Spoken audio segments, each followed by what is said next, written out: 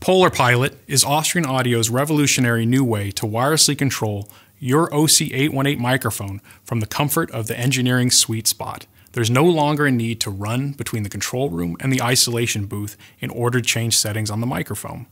Our legacy brand had invented the remote pattern control box as a convenience for the contemporary engineer, and now Austrian Audio is moving this technology forward into the modern era for today's performer, musician, and engineer.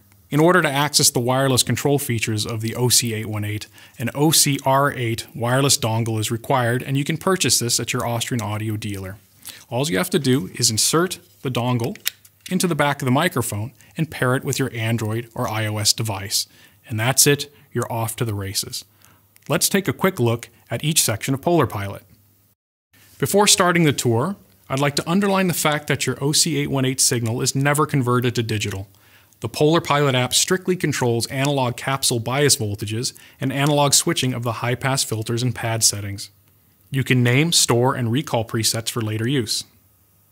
Multi-pattern mics, like the OC818, are necessarily limited to a predetermined number of polar pattern settings. With Polar Pilot, you now have access to 255 discrete polar patterns between figure of 8 and omnidirectional or you can smoothly slide between them using the slider. Below the Polar Pilot slider, you'll find the high-pass filters and pads. Please see our mic-specific video to learn why these are not just common filters and pads. We tend to do things a little bit special around here. At the bottom of the app, you'll see our super handy 60-second clipping indicator logger. This window will show a red bar whenever the mic's internal circuitry runs out of headroom. And that's it. You're now on your way to more convenient and excellent session with the world's first wireless control over ceramic Viennese handmade capsule.